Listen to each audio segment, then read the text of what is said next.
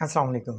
I am doctor Mujahid Farooq your sex therapist at men's care clinics आज का सवाल है कि अपने स्पर्म कैसे बढ़ाए जाएँ? देखें इसमें हमें कुछ चीज़ें करने की ज़रूरत है। सबसे पहली चीज़ होगी आपकी कम अज़ कम आठ घंटे की पुरसकून नींद। उससे आपके हार्मोन्स का लेवल्स अच्छा होगा। रोज़ाना वॉक या एक्सरसाइज की रूटीन जिसकी वजह से जहरीले मवाद जो हैं, वो पसीने के ज़रिए आपके जिसम से बाहर जाते हैं।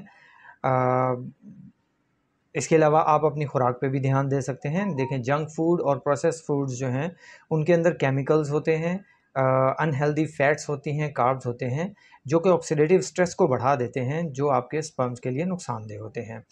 आ, इसके बरक्स आप वेजिटेबल्स फ्रूट्स ले सकते हैं।